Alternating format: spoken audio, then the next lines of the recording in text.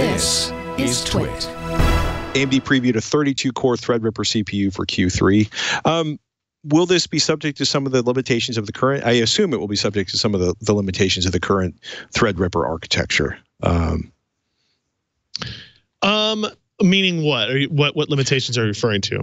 I seem to remember benchmarking issues with some of the applications because of the way it handled oh. the yeah, I mean, none, none of that's really going to change. Okay. Um, this is this is basically what they're going to do here for their Zen Plus, you know, Threadripper 2000 series. They're going to go up to 32 core, 64 threads, which basically means, if you remember, the Threadripper has four die on it, two of which were dead or dummies, and only two enabled, two eight core Zeppelin dies from AMD. Now they're basically going to put good dies on all four of them and you know they're going to offer a 24 core as well so there'll be a configuration where three of the dies are working i assume um, and yeah like this any any kind of like software eccentricities will still exist probably unless amd is doing a lot of work with microsoft to adjust things in schedulers unless you know one of the interesting things is zen plus that we saw in the ryzen 2000 series does mm-hmm.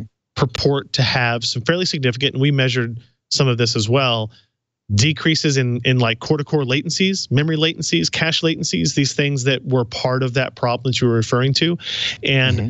those fixes and advantages may actually may end up being more useful on these super high core count parts than on the eight core count parts or the six core count parts, where you know Microsoft could theoretically schedule these threads across any die at any point and all that, right? And so anytime you can reduce those latencies, that's going to be it's going to be mm-hmm. an improvement.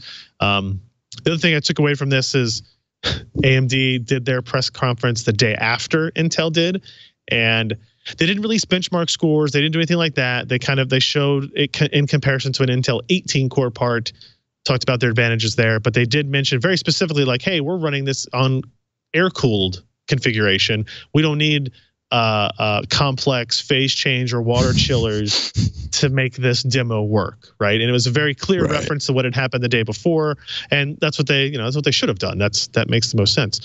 Um, Q3, so you're thinking July, August timeframe, likely for something for this to come out. And or Intel's demo was by the end of 2018, and now you don't really know what it's going to look like because of the complication around that five gigahertz demo. The the AMD one was more of a here's what you're gonna get. We're we're we're doubling core count again. You're gonna be able to get it, you know, this year. I don't know what to think about the pricing at this point um, because the 16 core part still sells for uh, I think like 900 bucks or 750 bucks like that, right? Uh, not, I'm sorry, 959, right? So the Threadripper 1950X, the 16 core part is just under a thousand dollars.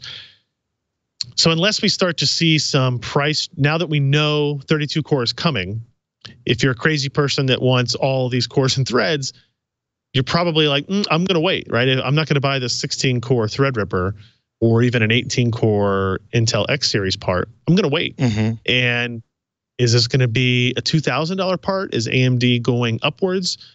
I think it's it would be it would be almost impossible to think that they would be able to sell there's 32 core part for a thousand bucks, right? That, that they would somehow match that maximum price point. I would love it. I don't know if they'll they'll have the guts to do it though. So, well, I think we'll find out sooner than than maybe most might have predicted.